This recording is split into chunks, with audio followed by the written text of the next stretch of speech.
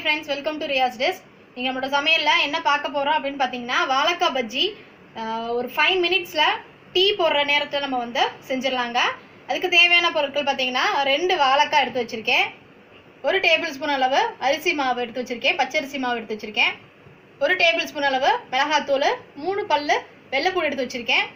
ஒரு table spoon அளவு ரவை உப்பு தேவையான அளவு பெருங்காயத்தூள் வந்து ஒரு ரெண்டு சிட்டிக்கை யூஸ் பண்ண போகிறேன் கடலை மாவு பார்த்தீங்கன்னா நாலு பெரிய டேபிள் ஸ்பூன் அளவு எடுத்து வச்சுருக்கேன்.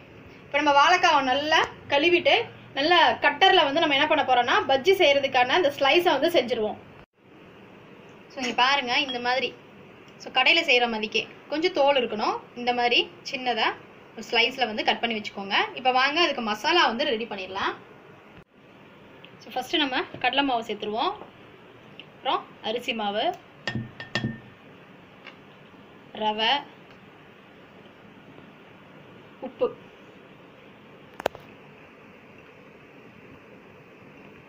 அதுக்கப்புறம் பார்த்தீங்கன்னா பெருங்காயத்தூள்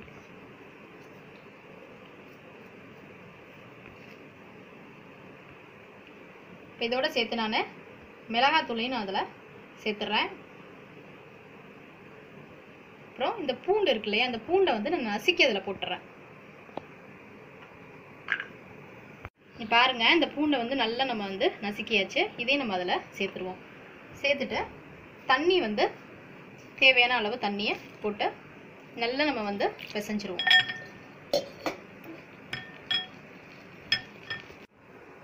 இங்கே பாருங்க இந்த மாதிரி கொஞ்சம் தண்ணியாகவும் கொஞ்சம் திக்காகவும் வந்து கரைச்சி வச்சுருக்கேன். இப்போ ஒரு கடாயில் வந்து எண்ணெயை வந்து நல்லா சூட் பண்ணியிருக்கேன் ஸோ அதில் பார்த்தீங்கன்னா ஃபஸ்ட்டு ஒரே ஒரு பீஸ் மட்டும் உங்களுக்கு நான் போட்டு காட்டுறேன். ஸோ நல்லா டிப் பண்ணிக்கோங்க. அது நல்லா அந்த மசாலாலாம் சேரட்டும் அந்த மாவெல்லாம் சேரட்டும். இந்த கார்னரில் பிடிச்சிட்டு அப்படியே நீங்கள் வந்து அதில் நல்லா நம்ம வந்து ஃப்ரை பண்ணி எடுத்துருவோம். பஜ்ஜியை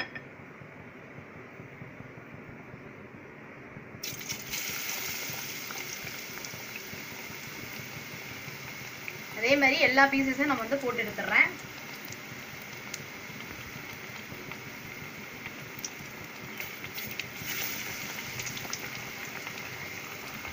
ஸோ இங்கே பாருங்க சூப்பராக வந்துருச்சு. இப்போ நம்ம ஒரு பிளேட்டில் தான் மாற்றிடுவோம்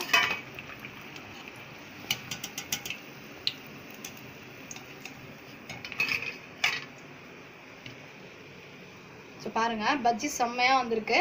ஸோ நல்லா பஃப்லியாக வேற இருக்குது ஸோ நீங்களும் உங்கள் வீட்டில் வந்து ட்ரை பண்ணி பாருங்கள் ட்ரை பண்ணி பார்த்துட்டு எனக்கு நீங்கள் கமெண்ட் பண்ணுங்கள் தேங்க்யூ